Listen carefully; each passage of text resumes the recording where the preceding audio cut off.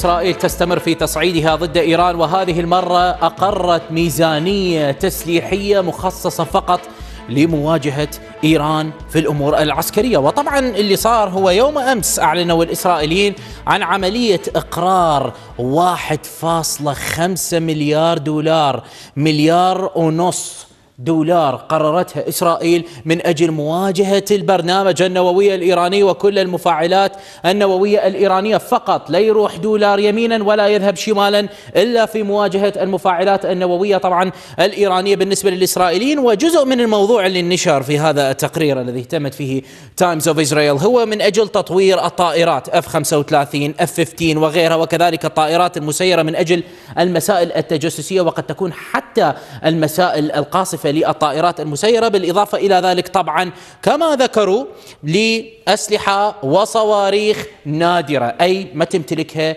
ولا يمتلكها أي جيش في العالم إلا جيوش قليلة. وهذا قد يؤشر إلى امتلاك فقط الولايات المتحدة الأمريكية لطبيعة هذه الصواريخ. ونحن هنا نتحدث عن قنابل آه، تذهب وتستهدف آه، المنشآت النووية الإيرانية التي هي طبعا موجودة تحت الأرض مهمة كبيرة جدا ومهمة صعبة جدا في مواجهة هذه المنشآت. الأمر ليس بالسهل كما حدث مع مفاعل تموز في السابق مع النظام العراقي السابق. هسه المثير بأن هذه الميزانية اللي أعلنوا عنها الإسرائيليين هي تأتي بعد خمسة أيام فقط من إعلان الولايات المتحدة الأمريكية وصحيفة Stars and Stripes المقربة من الجيش الأمريكي بنجاح عملية استخدام واختبار واحدة من أكبر وأخطر وأثقل القنابل اللي تمتلكها الولايات المتحدة الأمريكية لأول مرة. وطبعا هذه القنبلة إذا ما اقتربنا من عندها هذه القنبلة اسمها GBU 72 واللي يسموها قنبلة مخترق القبو. وهذه طبعا قنبلة جديدة للغاية ثقيلة للغاية وليس من السهل حملها بأي طائرة. وهذه طبعا واحدة من اللقطات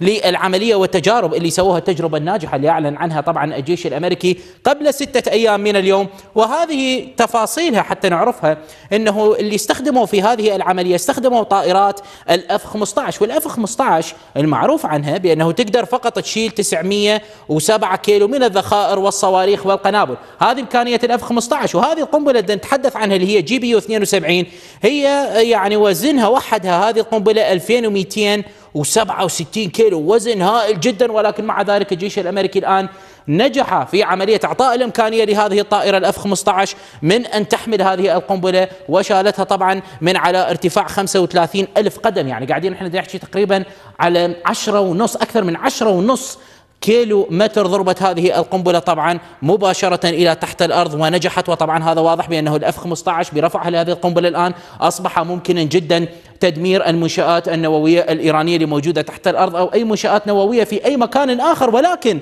الإيرانيين يجب أن لا ننسى بأن لديهم منظومات الأس 300 الروسية وهذه الأس 300 ممكن جدا أن تشكل تحدي واضح إلى طائرات الأف 15 وراداراتها تستطيع أن تضبط طائرات الأف 15 وهي تطير من مسافات بعيدة ولكن تاريخيا الأس 300 لم تسقط أي من طائرات الأف 15 ولكن هل هذا يعني بأنه ما ممكن أن تشكل لها تحدي؟ ممكن أن تشكل لها تحدي بحسب العديد من الخبراء العسكريين حول هذا الموضوع وهنا الذهن يذهب مباشرة إلى طائرات الأف 35 طائرات الشبح اللي الأس 300 ما تقدر تضبطها نهائيا. فقط الأس 400 اللي ممكن أن تشكل لها تحدي. ليس هنالك إثبات ولكن الأس 400 هي الوحيدة اللي ممكن تجمع معلومات على طائرات.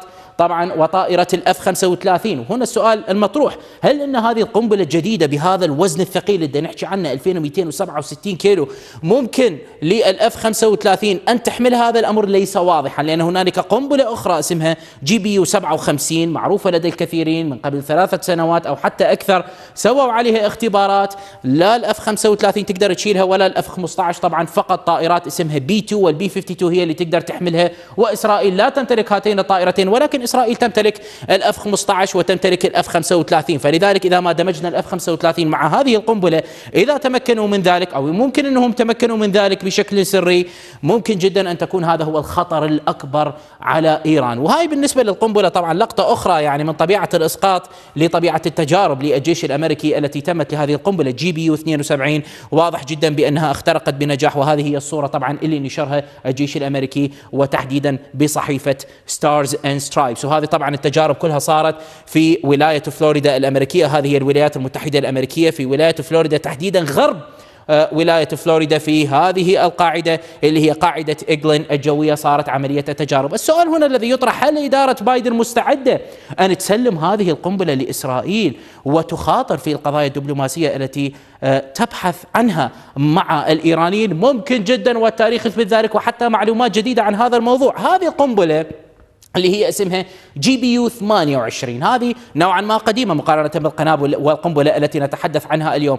هذه القنبله استخدموها أصلا في عاصفة الصحراء في عام 1991 ضد العراق وأيضا استخدموها في عام 2003 عندما غزت الولايات المتحدة الأمريكية العراق. وهذه القنبلة سلموها سرا وبشكل سري باعوها إلى إسرائيل في عام 2009 وهذا اللي كشفته ال Times of Israel مع قضية إقرار ال budget والميزانية الإسرائيلية. فشوف شنو اللي قالوا هنا.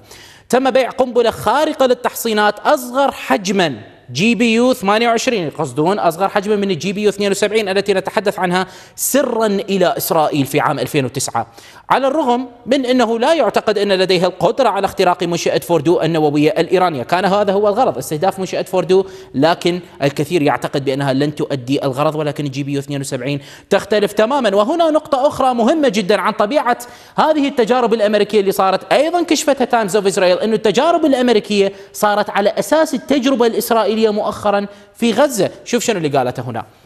الاختبار الأمريكي استند إلى الخبرة التي اكتسبتها إسرائيل في قصفها لشبكة أنفاق حماس تحت الأرض في غزة خلال حرب آيار الماضي. فواضح الميزانية مع القنبلة مع طبيعة التجارب مع طبيعة وصف هذه القنبلة. واضح جدا بأننا قد نكون هنا أمام الصفقة لتسليم هذه القنبلة إلى إسرائيل. كل العوامل لتسليم هذه القنبلة إلى إسرائيل موجودة علنا أو حتى على المستوى السري. وهنا طبعا تفتح قضية مهمة جدا أيضا يجب أن ننتبه إليها. هي جانب الإيراني. بغض النظر عن النظام الإيراني هل الشعب الإيراني راضي على طبيعة ما يحدث من خطر الآن ومن هذه القنابل التي تتطور مع الهجمات السبرانية وغيرها هل هم راضون؟ طبعا آه هنالك مركز اسمه إيران بول وهو موجود مركزه في تورنتو. إيران بول سوى دراسة وسأل الشعب الإيراني من يوم 30 8 إلى يوم 9 9 عن قضايا واستطلاع إنه شنو رأيكم في السياسات الخارجية التي نتبعها ضد الولايات المتحدة الأمريكية والعالم في القضايا النووية وغيرها وحتى بالأمور الاقتصادية.